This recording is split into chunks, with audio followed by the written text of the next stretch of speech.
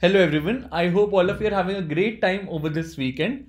And now let's quickly talk about day 15th of January LeetCode Challenge. The question that we have in today is Jump Game 4.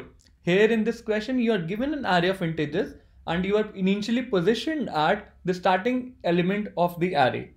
Also, you can jump from one position to another and there are few rules that are specified with the, the respect to the jump that you can take. The first one says if you are at the ith index, you can jump to the immediate next index. You can jump to the immediate previous index.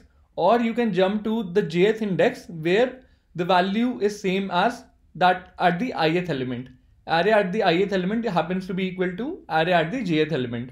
What we need to do we need to identify the minimum number of hops that are needed in order to reach the last index now let's quickly move on to the ppt that i have created for this a jump game 4 lead LeetCode 1345 it's a hard level question on LeetCode However, I don't feel the same. I would like to categorize this question under medium category.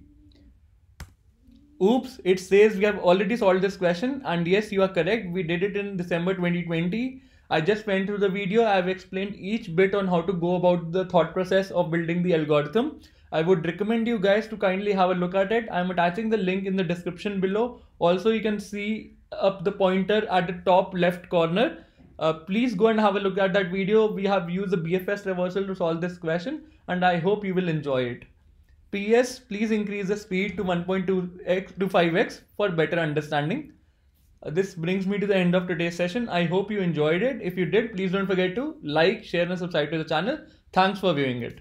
I hope you have a great time watching the other video.